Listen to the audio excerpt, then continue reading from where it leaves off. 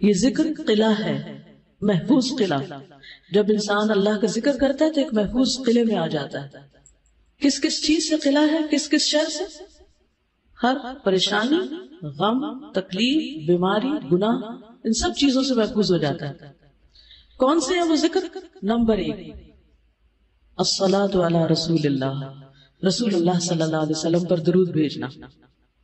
Number दो, कसरतुल इस्तिगफार। हर गम से निजात मिल जाती है इंसान को जब इंसान इस्तिगफार की कसरत करता है। या हल जलाल वल इकराम की कसरत। रसूलुल्लाह सल्लल्लाहु अलैहि वसल्लम ने इसकी ताकीद की है कि कसरत से या जल जलाल वल इकराम पढ़ा करो।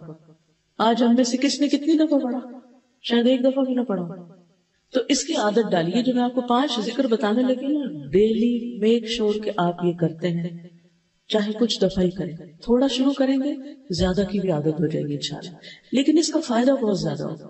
फ़ायदा ये कि आप बहुत से गमों और परेशानियों से निकल आएँगे। जब उनसे निकलेंगे तो आपको वक्त बचने लगेगा और वो वक्त आप मजीद इन्वेस्ट कर सकते हैं ज़िक्र ही पहला क्या है? दूसरा, इस्तिगफार। तीसरा, या जलाल वल इकराम। आपने फरमाया अलिजू इसको ज़्यादा कर लो, लाजिम कर लो।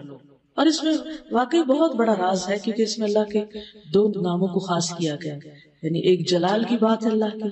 अल्लाह जल्ला जलालू जलाल, जमाल, कमाल और अजमत के मालिक, और दूसरा इकराम अता और बख्शिश के मालिक।